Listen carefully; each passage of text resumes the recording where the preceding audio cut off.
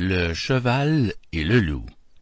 Fable numéro 8 du livre cinquième des Fables de Jean de La Fontaine.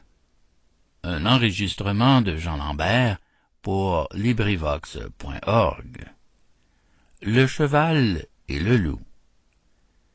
Un certain loup, dans la saison que les tièdes zéphyrs ont l'herbe rajeunie et que les animaux quittent tous la maison pour s'en aller chercher leur vie, un loup, dis-je, au sortir des rigueurs de l'hiver, aperçut un cheval qui avait mis au vert. Je laisse à penser quelle joie. Bonne chasse, dit-il, qu'il l'aurait à son croc.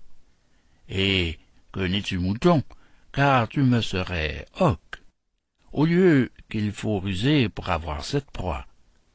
Ruse donc.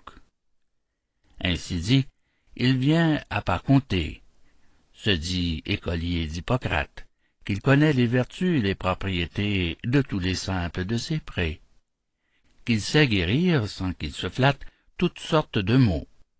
Si Don Coursier voulait ne point sceller sa maladie, lui loup gratis le guérirait. Car le voir en cette prairie paître ainsi sans être lié, témoignait quelque mal, selon la médecine.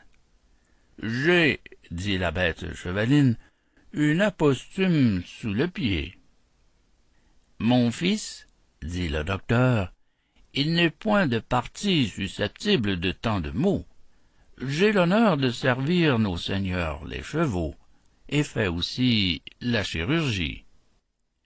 Mon galant ne songeait qu'à bien prendre son temps, afin de happer son malade. L'autre, qui s'en doutait, lui lâche une ruade qui vous lui met en marmalade les mandibules et les dents. C'est bien fait, dit le loup en soi-même fort triste. Chacun à son métier doit toujours s'attacher. Tu veux faire ici l'herboriste, et ne fus jamais que boucher.